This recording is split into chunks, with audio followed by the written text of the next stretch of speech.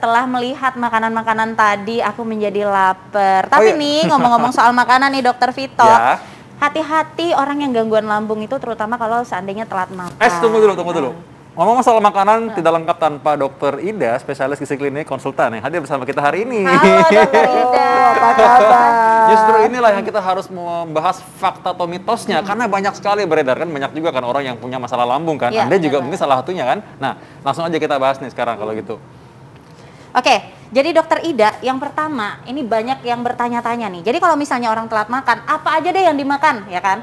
Terutama roti dan susu, ya kan? Ini fakta atau mitos, hindari konsumsi roti dan susu, terutama untuk orang dengan gangguan mah. Fakta atau mitos? Ya ini adalah fakta. Fakta. Nah, bingung Malah pasti, harus kan? dihindari ya, nggak boleh Nah. langsung dimakan gitu ya. Uh, bukan, jadi gini, kalau kita bicara mengenai sakit mah, sering sekali kan keluhannya kadang perutnya kembung, terus nyeri di abdomen, ya, rasanya begah dan sebagainya.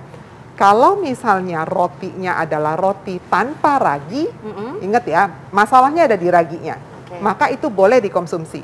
Yang ada di Indonesia, roti-roti kita itu umumnya roti yang beragi, Oke. dikasih ragi. Kalau kita bikin roti kan biar dia mekar, lebih lembut, maka dikasih ragi.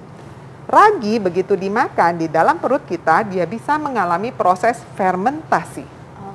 Hasil dari fermentasi salah satunya adalah alkohol.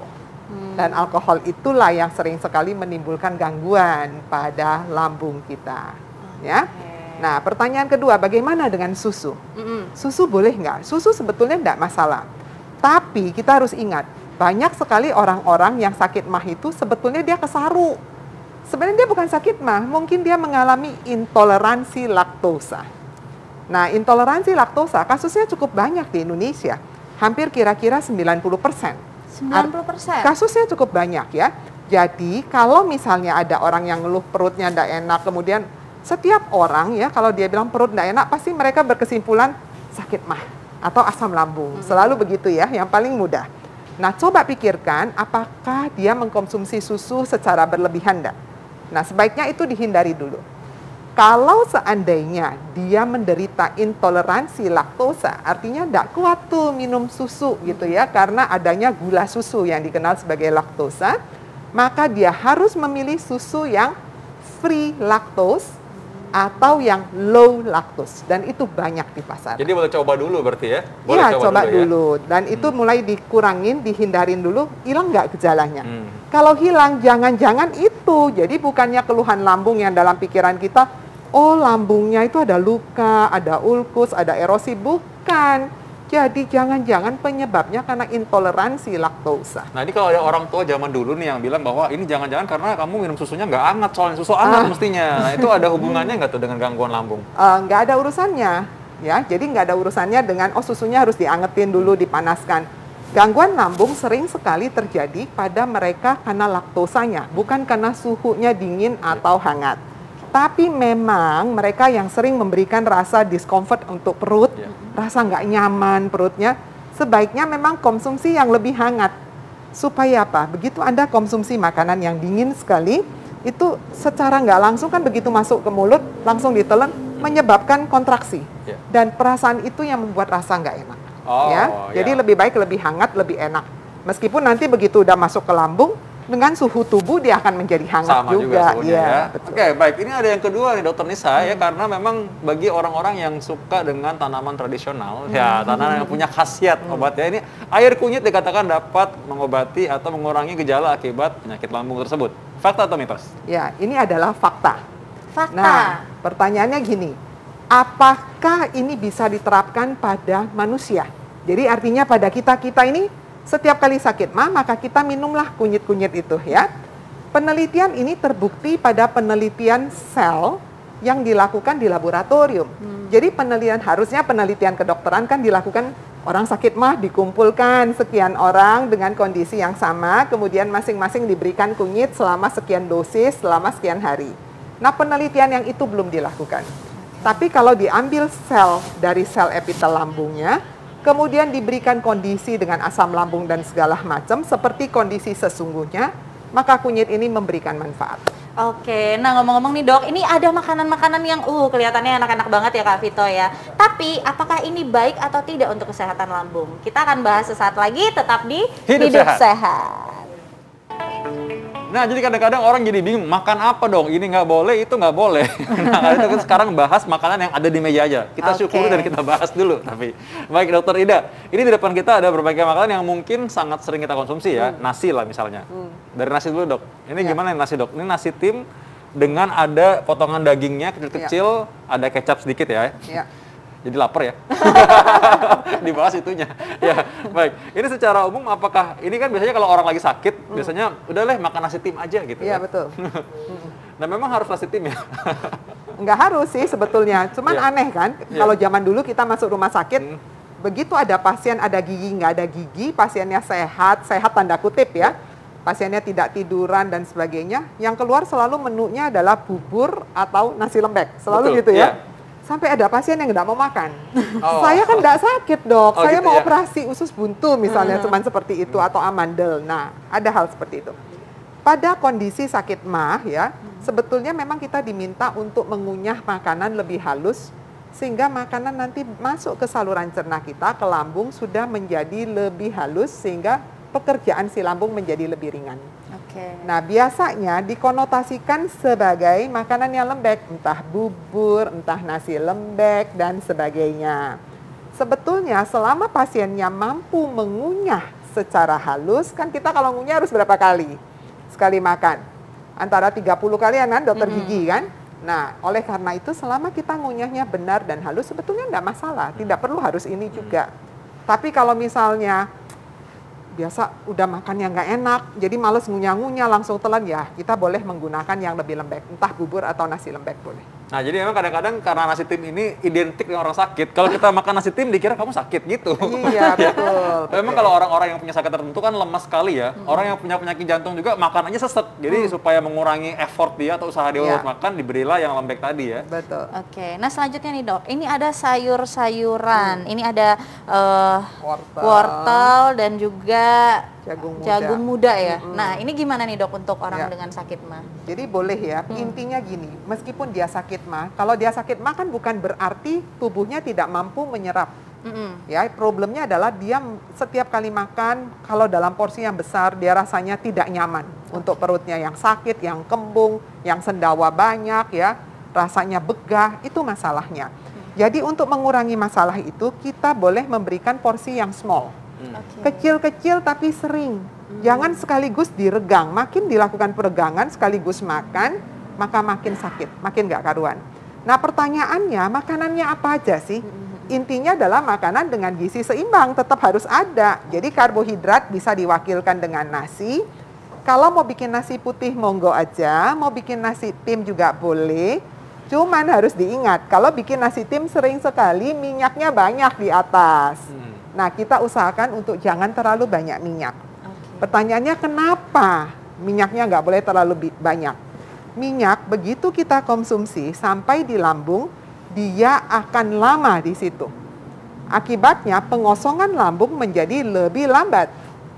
Pengosongan lambung yang lebih lambat itu akan menimbulkan rasa yang kenyang berlama-lama dan juga menimbulkan rasa begah buat mereka yang lagi ada iritasi di lambungnya.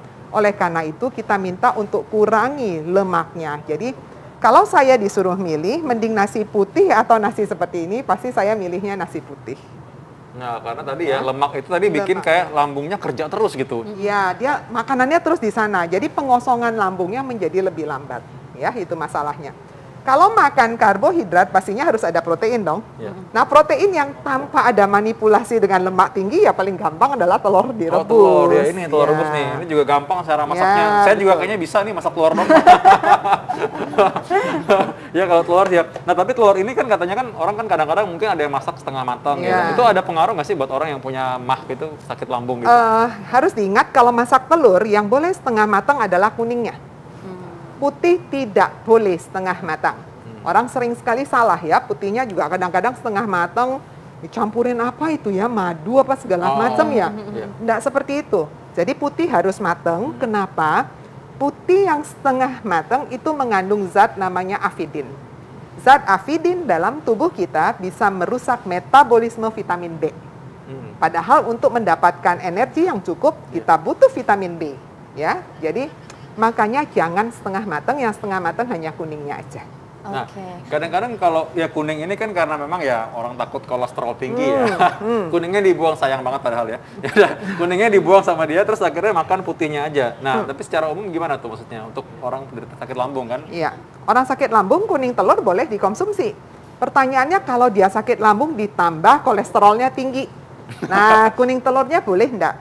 Oleh WHO masih diizinkan untuk mengkonsumsi kuning telur bagi mereka yang kolesterolnya tinggi seminggu 2 sampai 3 kali.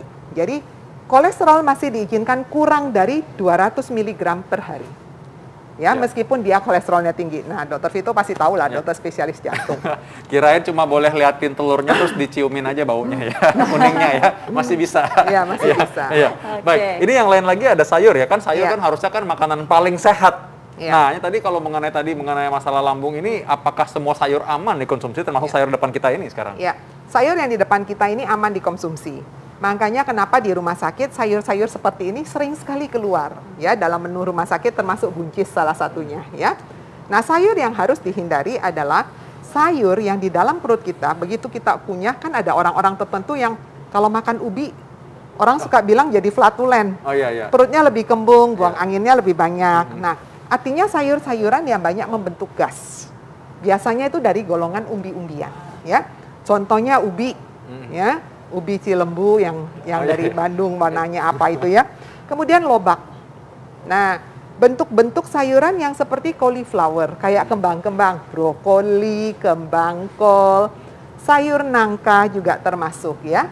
Jadi sayur-sayuran yang memproduksi banyak gas pada orang tertentu, tidak semua orang ya, sangat individual. Tapi secara umum maka kita hindarin. Kalau dia lagi kondisi akut, lagi sakit, sebaiknya jangan dikasih dulu. Nah, tadi kan dokter Ida tadi juga sudah bilang ya bahwa kalau misalkan lambung tadi itu teregang, maka itulah muncul rasa nggak nyaman dan nggak enak. Yang Hmm. Orang langsung berkonotasi, oh ini lambung nih pasti nih, lambung mah nih muncul gitu Iya, ya. betul sekali. Nah kalau gitu ya tadi ya aman sebenarnya justru makanan rumah sakit itu memang kelihatannya begitu tapi memang aman makanya sering keluar makanya minum itu ya. Ayo oke. Ya. Oke. Nah, ini perlu direview juga buat masyarakat nih. Tadi apa aja yang nggak boleh eh, jenis sayurannya tadi, Dok? Ada Yang kembang-kembang tadi. Kembang-kembang. Ya. Nah, ya. ya, seperti Nah, brokoli, brokoli, kembang, kembang kol, kol. kol yang banyak bentuk gas. Kemudian yang dari umbi-umbi Mhm. seperti lobak ya, sayur lobak, kemudian ubi-ubian ya, tales. Pada orang tertentu kan kadang kalau makan tuh perutnya nggak enak langsung banyak gasnya. Iya, Nah, benar seperti itu ya. Nah, Ya. nih ada juga nih dok pertanyaan dari masyarakat. Kalau ketan gimana tuh dok? Ya. Katanya nggak boleh banget buat orang mah atau gangguan lambung. Ya, eh, jawabannya itu benar sebetulnya ya. Tapi tidak semua orang, karena makanya sekarang kita selalu mengenal yang namanya personalized nutrition. Jadi nutrisi yang diberikan secara individual. Tapi secara umum memang kita selalu menghindari untuk pemberian eh, si ketan. Kenapa? Ketan itu begitu kita makan di dalam tubuh kita, dia membutuhkan enzim yang lebih banyak, kerja yang lebih capek untuk memecah dia, akhirnya bisa diserap. Nah, kerja itulah yang kita hindarin. Pastinya kalau kita bicara untuk kerja lebih capek, untuk pemotongan eh, rantai-rantainya, artinya semua enzim pencernaan akan dikeluarkan kan di situ. Dan kita tahu yang namanya gaster, lambung dengan usus 12 jari, dua denum dan sebagainya, di sana tempat pengeluaran dari enzimnya. Makanya semuanya harus tetap semangka. Tapi ngomong Nah, semangka gimana gimana? kalau Semangka, semangka? semangka, semangka gimana? Jadi ingat ya, semangka gimana? Semangka. Semangka itu kan soalnya kan sekarang ya terus terang aja, semangka itu adalah buah yang cukup favorit bagi banyak orang ya. Banyak airnya, udah gitu ya manis lagi ya.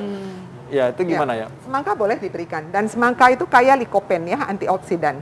Oh, likopen nih favoritnya dokter Ida. iya. Kalau yang sering misalkan hidup sehat pasti tahu nih likopen ya. Ya, likopen itu antioksidan yang kekuatannya sampai 40 kali beta karoten dan 10 kali eh, vitamin E. Jadi kekuatannya tinggi sekali, boleh aja diberikan, tapi sering sekali kita gini.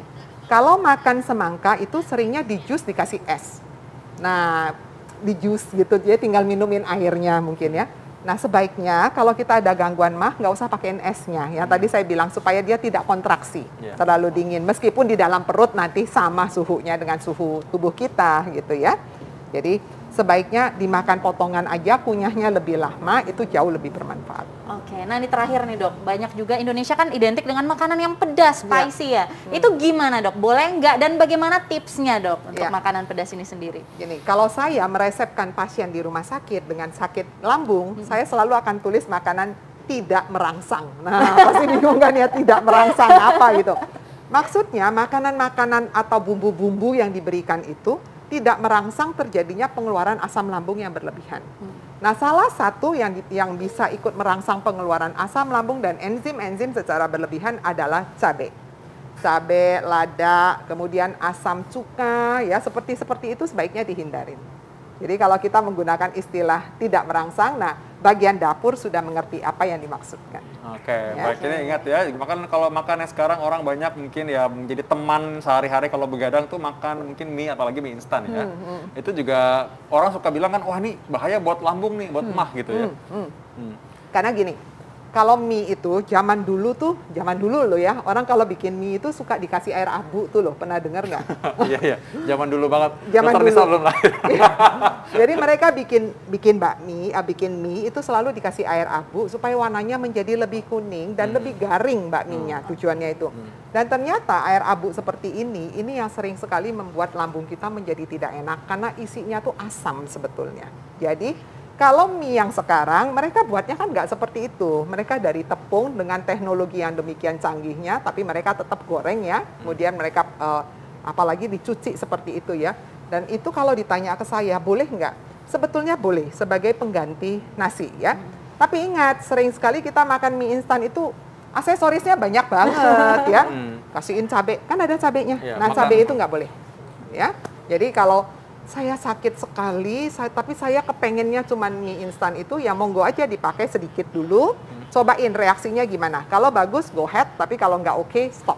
Oh jangan dirangsang-rangsang ya kalau misalkan lambung Iya. kita supaya tidak mengakibatkan perut kita menjadi sakit ya. Terima kasih Dokter Ida. Terima Terima kasih kita Dok. bisa belajar sekarang bagaimana cara kita makan, makan juga aman karena makanan itu bukan sekedar makan tapi makan itu untuk kesehatan. Ya. Ya, Iya. benar banget. Kita kembali lagi dengan informasi kesehatan lainnya. Tetap bersama kami di Hidup Sehat. Thank you.